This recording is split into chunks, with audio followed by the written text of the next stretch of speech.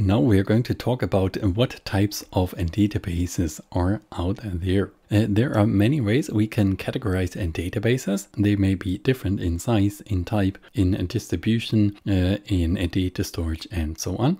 So for example, if we talk about a distribution, we could talk about on-premise and databases. So it's on your local computer or in your company internally on some server, or it could be a cloud database, or it could be a distributed database that has nodes all over the globe. Then we could also typically categorize databases by a type, which is the categorization that I have here in this gray box in the central area. And then here uh, by type, we can classify them into relational databases, analytics uh, systems, document-oriented databases, cloud databases, and other types of databases. But what's more important to you probably at the moment here, because this classification can obviously vary depending on who you ask, uh, is and those ones that are in bold letters here are examples of the ones that use SQL that are going to learn in this course. And also some other ones like Apache Cassandra use SQL like uh, query languages. Why?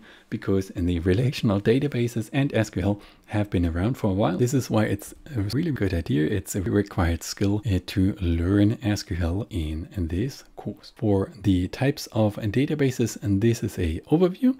Uh, in the next chapter, we're going to talk about SQL. If you have any questions, please feel free to ask in the Q&A. See you in the next video.